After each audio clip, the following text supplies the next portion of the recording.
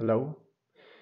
Uh, this is something you don't want to miss. Um, I actually found something that was uh, painted 300 years before the Vitruvian Man. It almost seems like Leonardo da Vinci was inspired by this other artwork made by Hildegard, um, Hildegard of, of Bingen made her painting in Liber Divirum, Divinorum Operum.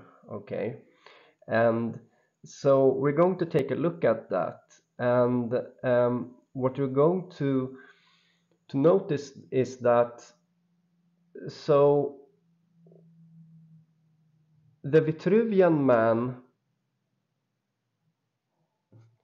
let's get back to that. The Vitruvian man has the symbol of the squared circle. What is the squared circle? Well, the squared circle is the name of the philosopher's stone symbol. It's the official name of the, of the symbol of the philosopher's stone. The Vitruvian man is a depiction of how the how how you take a man a human a man okay? And and you you square it. Uh, uh, you want to transform it into something else. You have a circle and you want to transform it into a square a square of the same area. And this is something that uh, is very hard to do when it comes to this old old um, methods of using a square and a compass okay?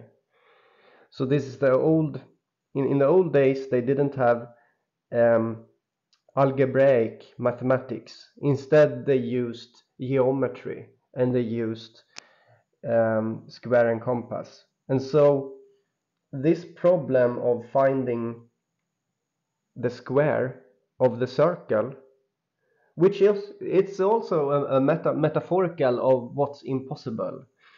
Um, people often say it's like squaring the circle as if something is impossible. And uh, and this is exactly so it has become a metaphor for that right?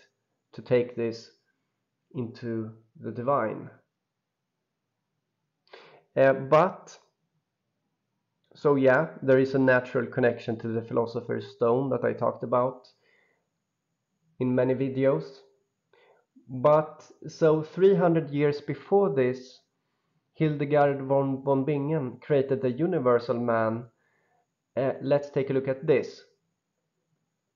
So this is amazing. It's absolutely amazing because it's exactly what I want to see and it's exactly what I want to show you. It's exactly what I have been talking about.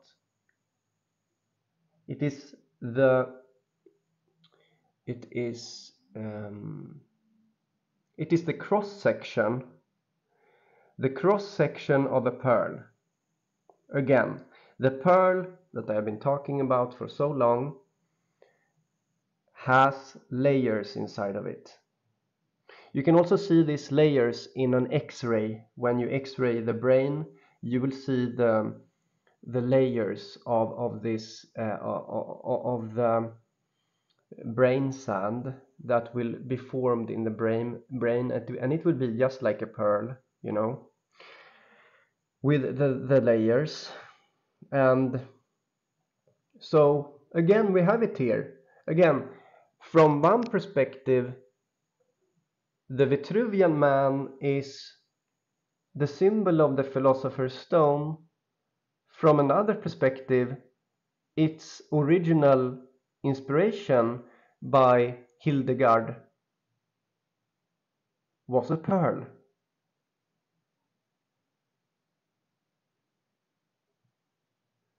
And um, I'm very happy to see this. I'm very happy. Uh, it it proves my point and it helps you realize that this is true that there is a truth, you know, and um, that's it. That's basically it. Uh, I just wanted to show you I am um, mind blown by this. I hope you are also that it's it's this clear, it's this much in your face. This is how it is. And um, um,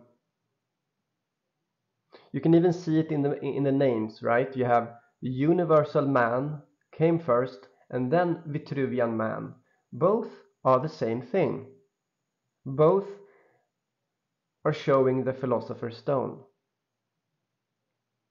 In the first one, it's a pearl. The cross section of a pearl to make you easier to make it easier to see it. On the other one, it is the symbol, the squared circle. It can't be clearer like and than this. It it cannot be clearer. Uh, so yeah, amazing, absolutely amazing. Have a good day. Bye bye.